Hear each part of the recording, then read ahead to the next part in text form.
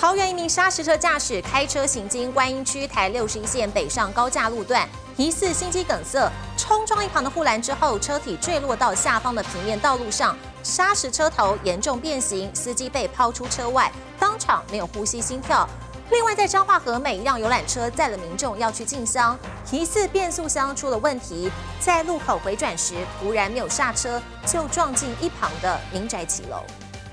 高架桥上，一辆下车突然往右偏，擦撞一旁护栏后，跟着车身侧翻，车头朝下往下坠落平面道路上，瞬间扬起大量粉尘。他就直接这样撞到了边坡，直接就这样下来，整个就是尘土飞扬这样子。车祸现场满目疮痍，砂石车头全毁变形，司机没在车内，而是第一时间被抛出车外。救车到场时，人倒在地上，没了呼吸心跳，就怕还有人员受困，搜救队员紧急撬回车体。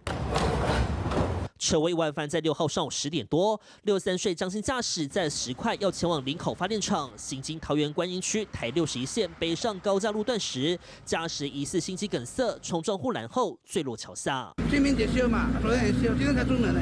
我怀疑心肌梗塞了，误会啊。公司老板表示，张姓驾驶身体不好，患有糖尿病，车辆都有定期检修，应该不会有问题。真正事故原因，警方仍在理清。另外，在彰化和美，一辆游览车在前方路口回转时，突然没刹车，直接撞进民宅骑楼。